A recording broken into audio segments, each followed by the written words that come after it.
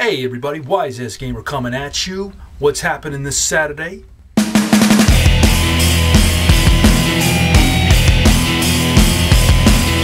So I'm going to be doing kind of a follow video to a video I had done about five years ago, simply put, interracial relationships. To date, it's one of my most popular videos. This video will not be talking about this and that and experiences and whatnot. I'm going to be doing kind of a video, just kind of a how-to video in a way. To get started, I'm going to be addressing most of my viewers who are white in an interracial relationship. If I can make this as clear as day, if I can make this crystal clear, you are not exempt from being a racist. Yeah, one wrong move and you are a racist. Trust me, your significant other will let you know of that. And to be clear, our histories are not shaped with hearts and flowers. You have to be understanding of that.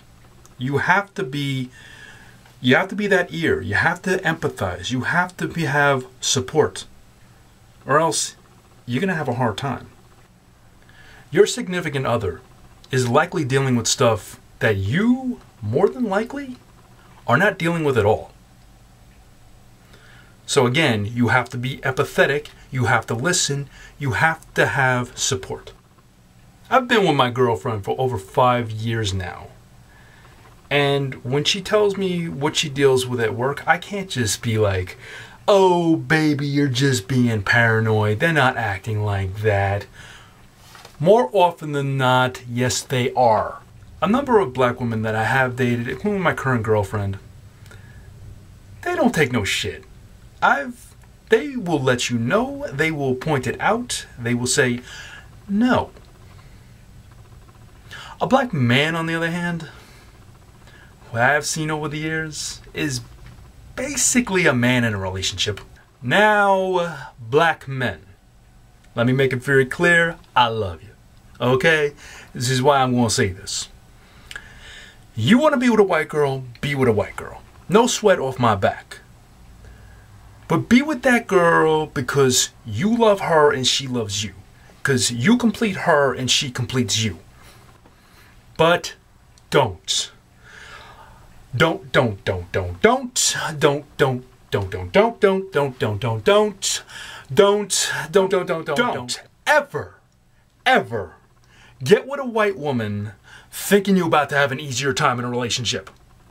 At the end of the day, she still deals with, with everything that comes with being a woman in today's society.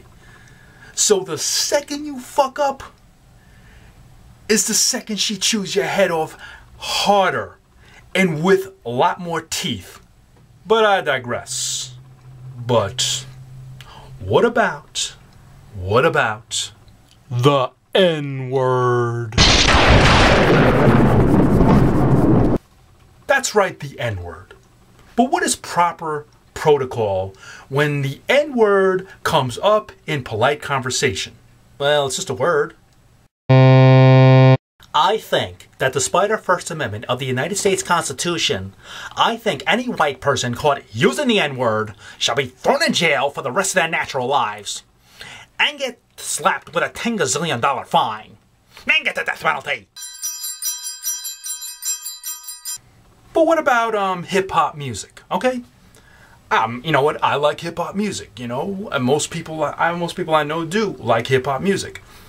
But I'm not just talking about any kind of hip hop music. I'm talking about hip hop like circa 1988 to well, um, 2000. If it's like between there, yeah, most of the time you're gonna hear the N word in a lot of these songs, and you just can't you got to sing them properly. You can't just be like when biggie comes on the radio or tupac comes on the radio dr dre comes on the radio especially you just be like